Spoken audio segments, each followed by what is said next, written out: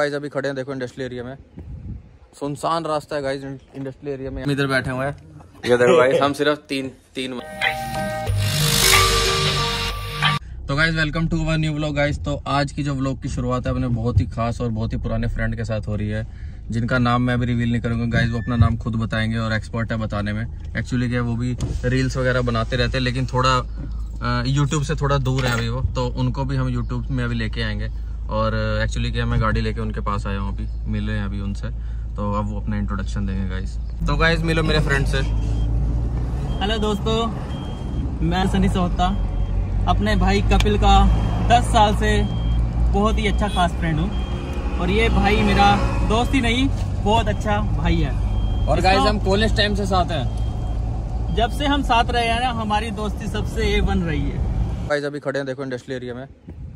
सुनसान रास्ता है गाइज़ इंडस्ट्रियल एरिया में यहाँ पे कोई आसपास भटकता नहीं है क्योंकि यहाँ पे कंपनीज़ होती हैं और बंदे जॉब कर रहे हैं अंदर। मतलब भरी पड़ी है फैक्ट्रियाँ सारी अंदर और हम खड़े हैं यहाँ पे फ़ोटो शूट कराने के लिए गाइज़ हम फ़ोटोज़ खींचने के लिए यहाँ पे खड़े हुए हैं अभी।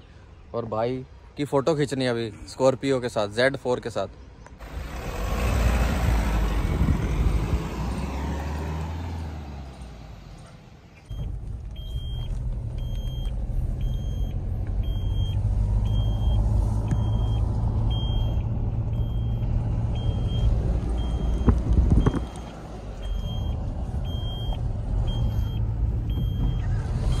तो सन्नी भाई गाड़ी चला के कैसा लग रहा है?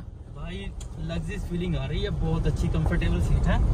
हम्म। और गाड़ी भी एवन बहुत ऊँची हाइट लग रही है इसकी मुझे। मज़ा ऐसा लग रहा है ना ऊपर बैठे गई छत पे? भाई लग रहा है ऊंचाई पे बहुत हूँ। तो सीट पीछे करता हूँ। तो गाइस देखो बहुत ही अच्छी फीलिंग आ रही है भाई को गाड़ी चलाते हुए। और मज़ा भी आ रहा है बहुत। ये ऐसा लग रहा है जैसे फ़र्स्ट फ्लोर पे बैठे हुए हैं। तो गाइस ये मैं इंडस्ट्रियल आपको इसलिए दिखाता हूँ कि यहाँ पे मैं पहले जॉब किया करता था। और आज अपनी गाड़ी में घूम रहा हूँ। ए पक्का। कच्ची मिट्टी? नहीं ले रहे नहीं ले रहे टेंशन ना ले मिट्टी से नहीं बना। हम इधर बैठे हुए हैं।